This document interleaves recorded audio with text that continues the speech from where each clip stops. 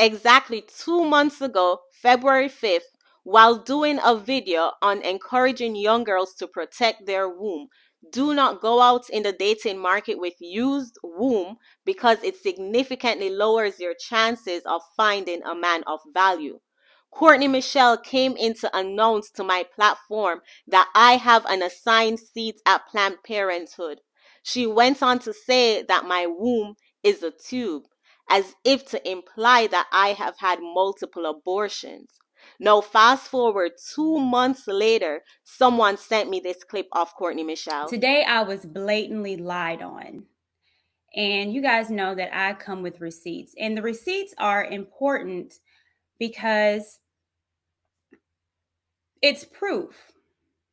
What I like to do on my page is, you know, if I say something or if I feel a way, I just don't come up here and just tell you how I feel. I break it down and I say, This is why I feel this way. Well, this person said this and that and that and that. But it's unfortunate because the integrity that I have on my page, the integrity and the amount of time that I do put in my shows, a lot of people don't have it. And then when I go to pages and I look at streams, uh, people just want to say whatever to get their rocks off with no proof or no evidence. And then I see there are weirdos in the chat that agree. And I'm like, man, some of our people are really slow. Some of my some of our people don't need to see any evidence of anything, just someone saying it and then they believe it. Well, well, well how the turntables. When Courtney accused me of murdering my babies, though she had no evidence, I got a lot of trolling comments from her subscribers. Now, I will always and forever use my platform to call out the toxic behaviors in the black community, and this right here is toxic.